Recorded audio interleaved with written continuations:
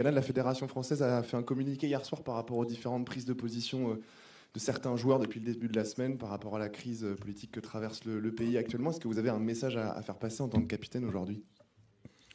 Bonsoir à tous. Euh, oui, j'ai eu écho de, ce communiqué. Maintenant, euh, je pense qu'on est dans un moment crucial dans l'histoire de notre pays.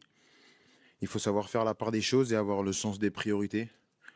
Euh, l'euro place très importante dans nos, dans nos carrières, mais je pense qu'on est, on est des citoyens avant tout et, je pense qu'on ne doit pas être déconnecté du monde qui nous entoure et encore moins quand ça concerne notre pays.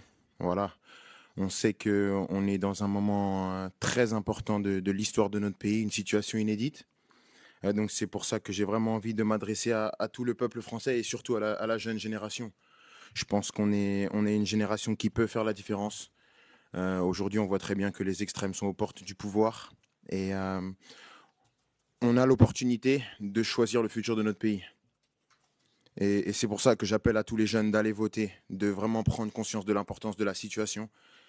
Euh, j'espère que, ma voix va porter un maximum parce que le pays, on a besoin de s'identifier à ce pays.